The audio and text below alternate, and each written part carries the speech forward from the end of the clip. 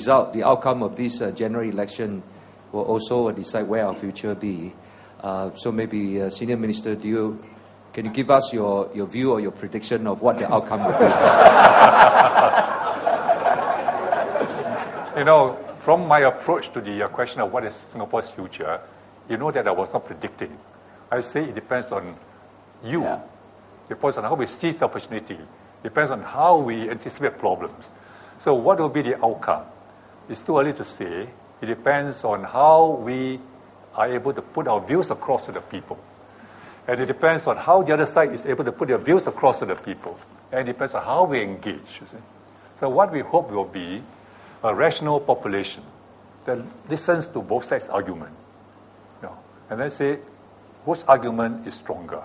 And don't react on the basis of gut reaction. And uh, do not react on the basis of populist promise.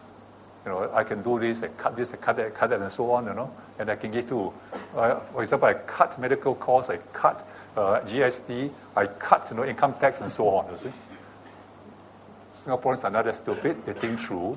Then they decide see, who is more credible. Then look at the track record.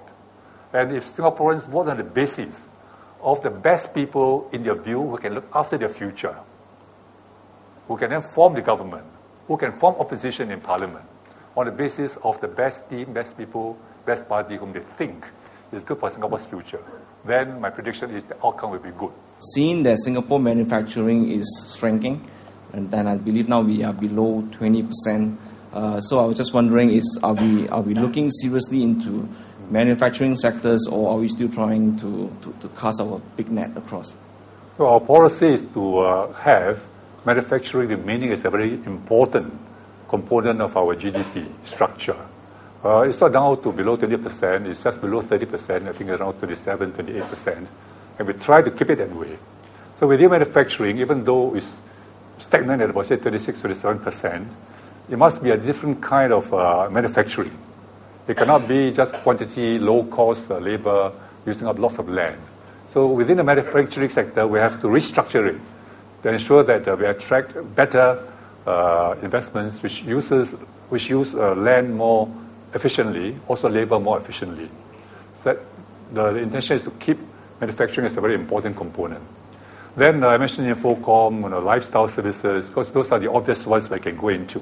A high end, you know, even arts, uh, the creative part, uh, animation, all these are creative uh, uh, services which we need.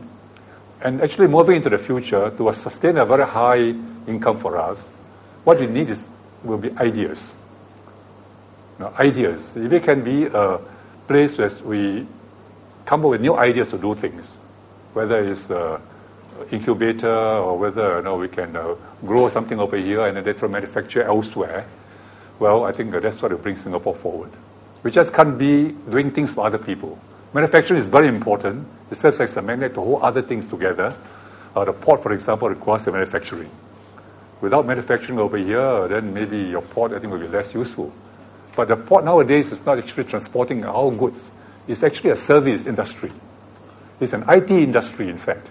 You got to track your containers, track your cargoes.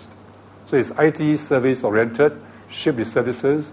We are providing a service uh, for exports, imports, manufactured elsewhere. So rest assured that uh, we want to keep manufacturing as a very important component of our GDP.